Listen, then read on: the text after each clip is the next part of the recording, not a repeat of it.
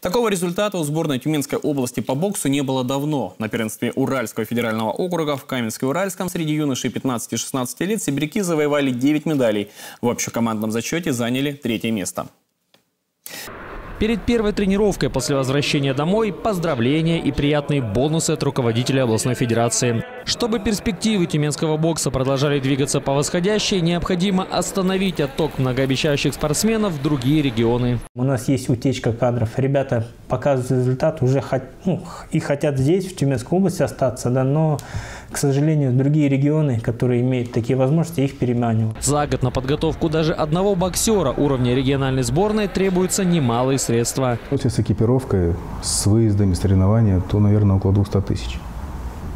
То есть если э, парень усердно занимается, усердно готовит, с, со сборами, соревнованиями, это около 200 тысяч, если даже не больше. Мы обязаны их удержать здесь. Вот. Но, конечно, у нас база нет.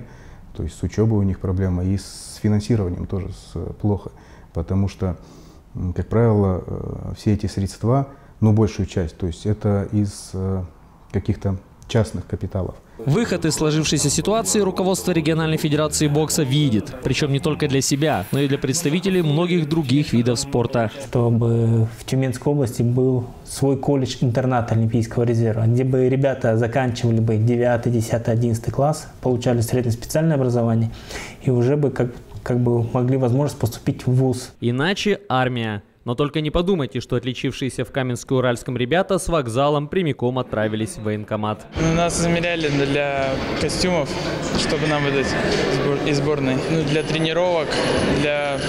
Чтобы мы просто ходили, чтобы когда ездили куда-то, чтобы видно было, что мы сборная. Встречают по одежке, провожают по уму. А в данном случае еще и по уровню подготовки и морально-волевым качествам. Они у тюменцев оказались под стать событием. Самый сложный бой это был выход в полуфинал. Против меня попался попался хороший, хороший боксер такой э, с Ханты-Мансийска.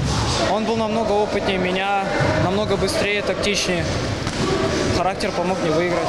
Благодаря работе на местах, работе личных тренеров, работе в команде э, получился такой результат. Дай бог, чтобы на этом не останавливались, а дальше продолжали свою деятельность. Несмотря на все коронавирусы, какие нас пугают, да, э, процесс продолжается, дети растут. Сейчас победители и призеры Уральского турнира готовятся к новому вызову – первенству России, которое состоится в Анапе с 19 по 25 апреля.